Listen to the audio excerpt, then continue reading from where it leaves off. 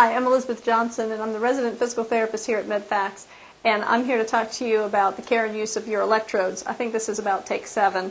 Um, but I also wanted to mention before we get started that um, your electrodes and the supplies that you'll need for your electrotherapy treatment may be covered by your insurance company. If you just give us a call, we can work through those issues with you um, so that you can get all the supplies you need for your electrotherapy treatment and not have to pay for everything out of pocket.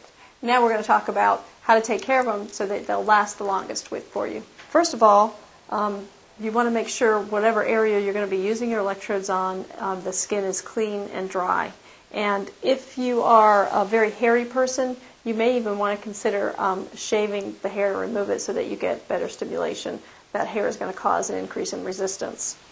Um, secondly, when you when you go to remove your electrodes, they, they come on a plastic strip, and when you go to take them off the that plastic card, you want to peel them up from a corner.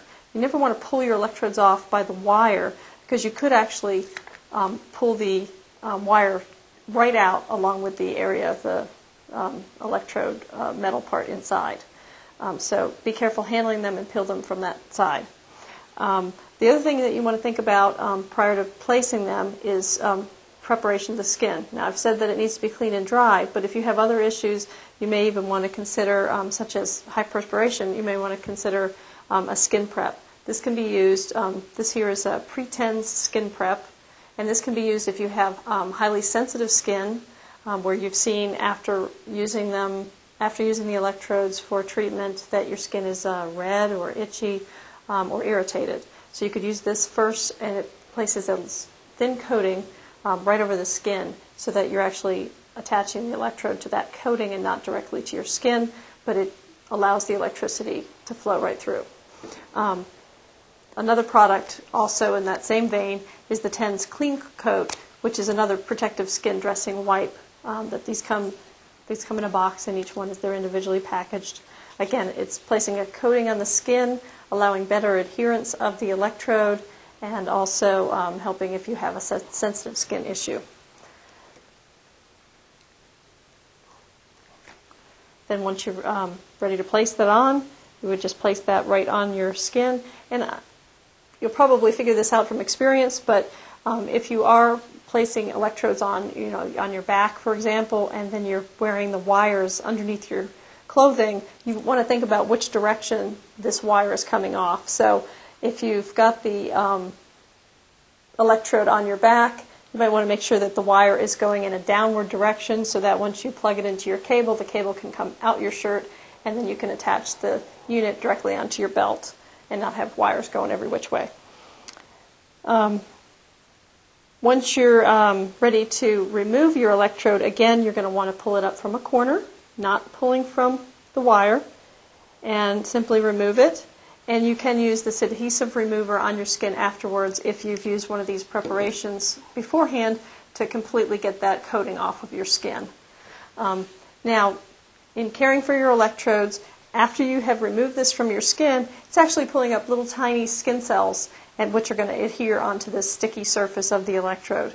And to remove those um, and make your electrode actually last longer, you can use a little bit of water and an old toothbrush that you save for this purpose and simply wet it slightly and just brush that off and get some of that stuck on skin cells off of there. You would then let that, don't want to have it soaking wet, but replace it right back onto the plastic card for use another time. They'll last much longer if you keep them right on that plastic card and then you would, could put them back into your package and place them in the refrigerator. Keeping them cool will allow them to last longer and um, have just the right amount of humidity to them. Um, another issue is that um, some people do have problems with perspiration. They have heavy perspiration, and the electrodes don't stick as well. In those cases, one of these skin preparations can help with that, particularly this uh, pre- Pretens skin prep because it also has an antiperspirant on it.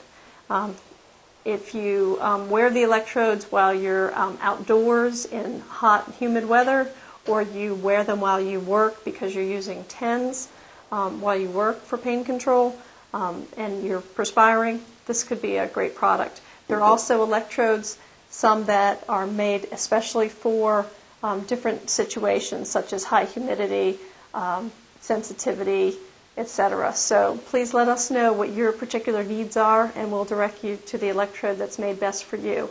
And with just a little bit of care, they'll last a long time, and you'll get the best results from your electrotherapy stimulation.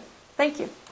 Yeah, one of the things that we have is once a patient has purchased an Infrex unit, and this also applies to any TENS unit, then they become eligible to use uh, and to be paid for by the insurance a group of supplies that is used with chronic pain. In this situation, you see a cold pack, you see BioFreeze, you see Tiger Balm patches, which is great, and you also see right over here our aromatherapy patch, the lavender patch, which, which is for helping patients sleep at night.